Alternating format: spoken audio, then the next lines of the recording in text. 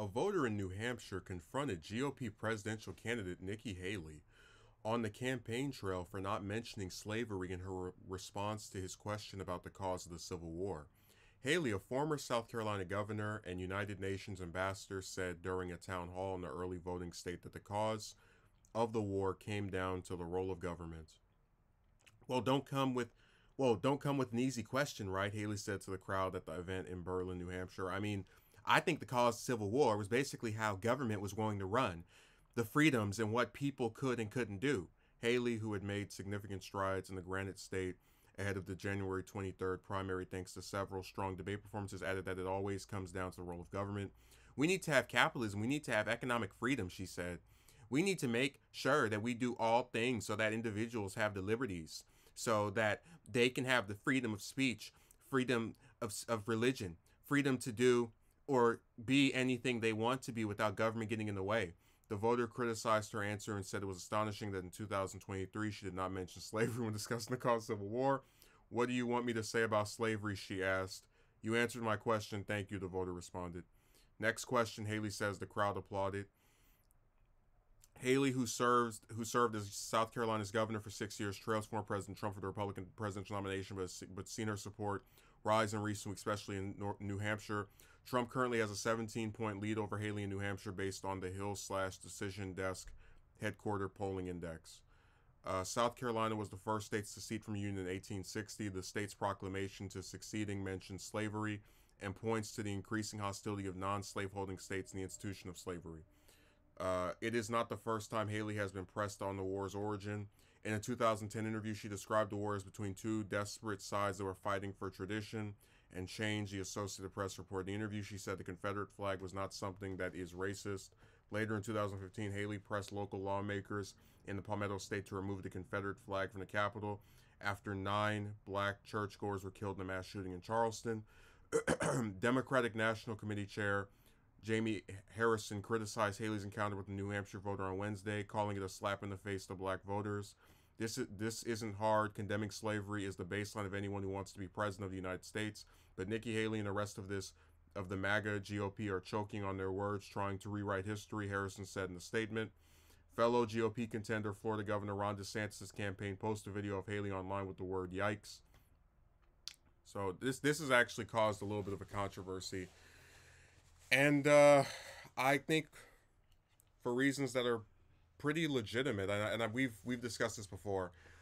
Um, the Civil War was a conflict that the immediate you know cause we we can discuss, uh, uh but but it it really was the culmination of about 20 years worth of disagreements over slavery um, and whether it would be expanded, whether it just be contained to a certain part of the U.S., or whether it would be abolished.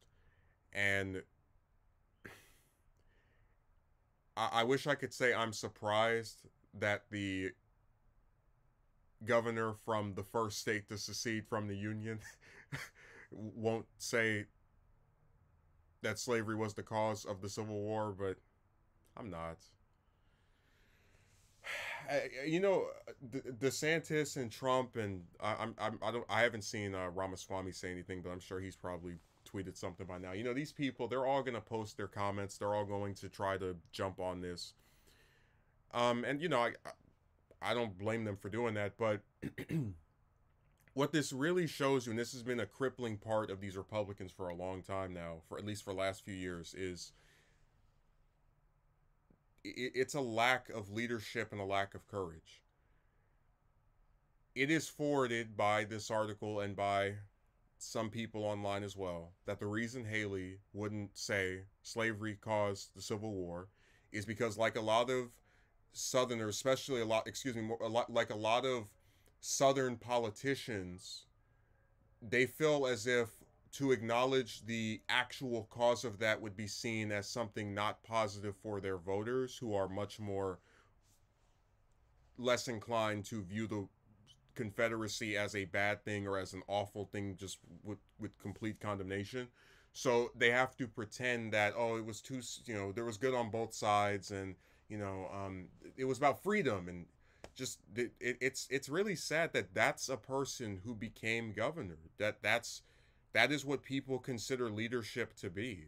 And I don't think some like this is just my opinion. It's not going to affect any of the New Hampshire voters because, you know, they're they will do what they want to. But I don't think anyone who is so afraid to just say the reason why one of the two, arguably one of the three major wars in in American history altogether uh, you know, along with the uh, Revolutionary War and the World War II, would be incapable. Like that person shouldn't. They, they don't. They shouldn't be president of the United States. That's my opinion. I don't. I think if you can't even answer that question, that very basic question, uh, which has to do with history, it has to do with, you know, and some pe- people still claim that we're dealing with the aftermath of the Civil War to this day. But my point I'm making is, you really shouldn't have someone in a leadership position that's too afraid to say the actual reason for why one of the most important conflicts in American history began.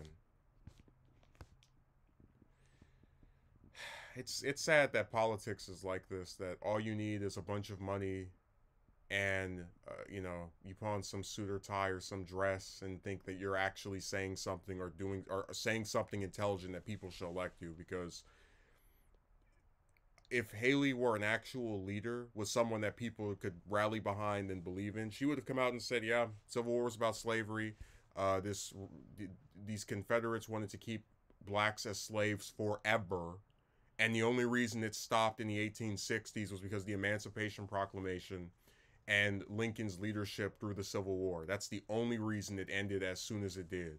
And even that uh, wasn't soon. That was still after 60 plus years of uh, blacks in chains and do and doing the bidding of their master. It's you know just it's not hard to come out and say that's what caused it. It's a good thing it ended. Freedom. You act like the South uh, seceded because uh, they were getting taxed too much.